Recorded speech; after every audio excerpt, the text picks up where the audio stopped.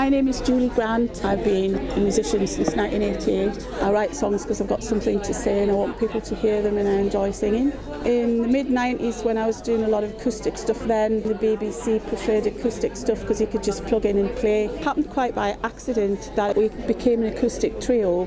There's a bigger scene and more scope for acoustic artists and there's a need for it. I'm not that enamoured by the northeast scene to be honest. Just general awful attitude of, of musicians. You know, they don't support other local bands and then they whinge on that they're not being noticed. Unfortunately, I find now as well that a lot of people don't go to gigs as much as they used to. It's refreshing to have a band like the Violet Bunnies who are interested in the local scene, are interested in what other people are doing and are quite happy to promote it and be part of this, what should be a camaraderie.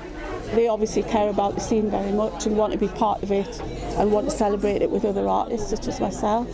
Chris, she started to follow me online, sent positive comments back and somebody worth sort of listening to and that I had something to say. Well, if you like me, then you must be sort of on the same wavelength. I saw the Violet Bunnies at um, their single launch and liked what I heard. I thought the originals were, were very well constructed. Is it Grass?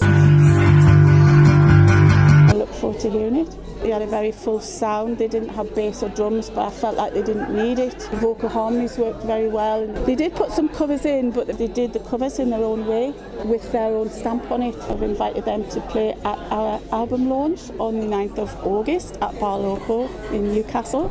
Um, Julie Grant is back again. It's me, but it's us. It's out on the 9th of August, the CD launch.